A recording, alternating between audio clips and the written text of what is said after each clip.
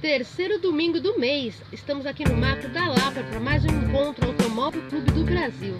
Vamos dar uma olhada como tá?